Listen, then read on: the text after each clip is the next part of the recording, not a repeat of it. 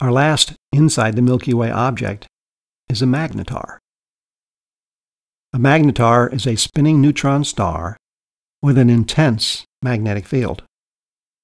Magnetic field strength is measured in units called Gauss. A refrigerator magnet is about 50 Gauss. MRIs use up to 70,000 Gauss.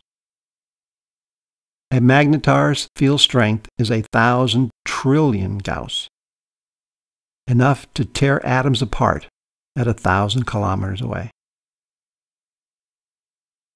Only around 1 in 10 neutron stars start out as magnetars. We do not yet know what makes their magnetic fields so strong.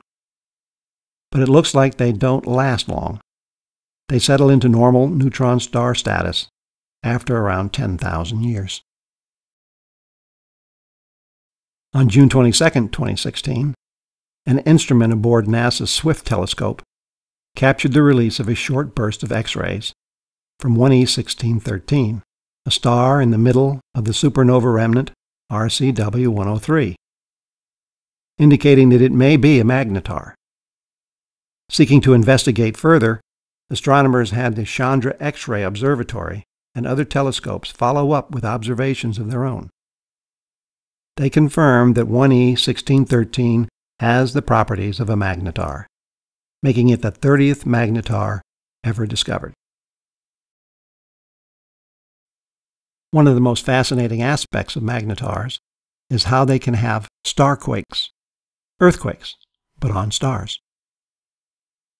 When neutron stars form, they can have a crust on the outside surrounding the matter inside.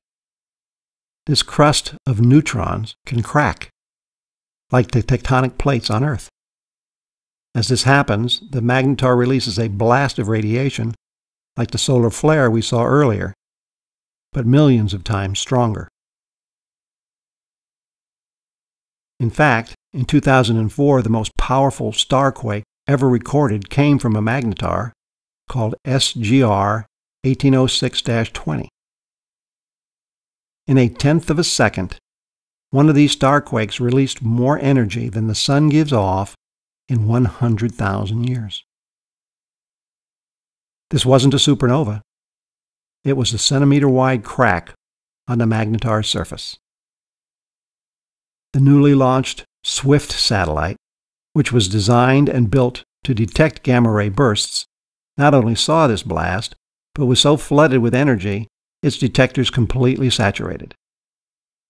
This enormous wave of energy was so powerful, it partially ionized the Earth's upper atmosphere, and it made our magnetic field ring like a bell.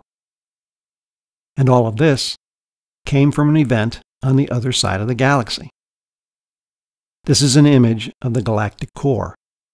The magnetar is located far behind it and cannot be seen because of the density of stars and dust in the core. Compare that to the distance of the Orion molecular cloud complex, 1,500 light years away.